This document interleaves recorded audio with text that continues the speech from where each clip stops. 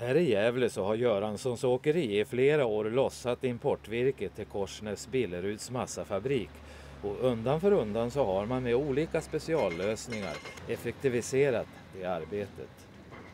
Det här 25 meter långa och ormliknande ekipaget det består av dragbil och två trailers och som ni ser så vänder det med lätthet runt på den 15 meter breda kajen och kör sedan under den jättelika lyftkranen. Började med terminalhantering på Korsnäs 2003 och eh, då ville vi ha lite effektiv på lastningen. Så kom vi på att göra lite typ timmervaljer då. Så att vi får, ja så man blir effektivare och lägga ner virke i, i, i valjerna där. Det senaste nu är att Göranssons åkeri tillsammans med XT utvecklat specialgjorda timmerbaljor som gör att man kan lasta upp till 85 ton åt gången på varje transportekipage.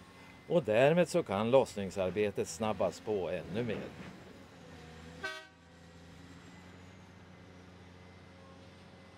Största underlättande är nog att, eh, att man får ut mera virke på en dag till exempel. Det är alltid tidspressande. Och ja, man får ut det där kubiken man har tänkt sig då. och eh, sen är det ju underhållet för att det fungerar varje dag.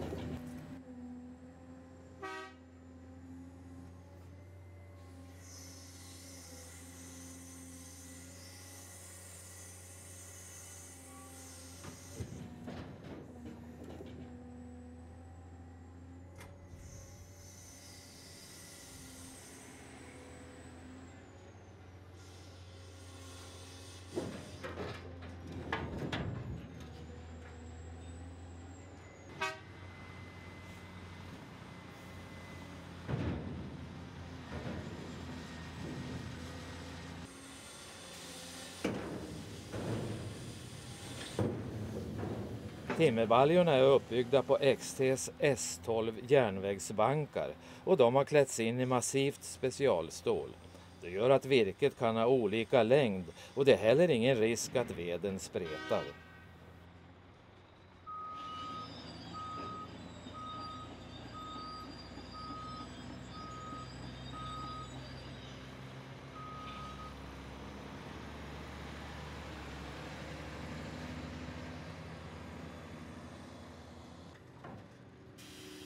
Baljorna är skjutbara på ramen och mellan dem så ligger lösa stödbankar som skyddar ramen från att skadas och som sen är lätta att ta bort när man sen ska lossa med olika truckar.